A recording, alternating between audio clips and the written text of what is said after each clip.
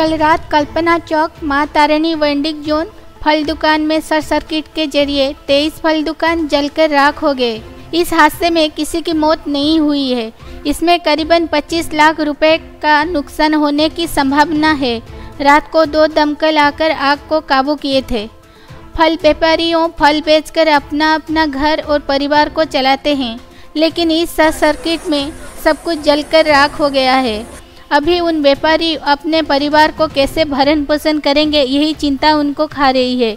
इसीलिए प्रशासन को गुहार किए हैं। भुवनेश्वर से अरुण कुमार साहू, सनमार्ग, ओडिशा।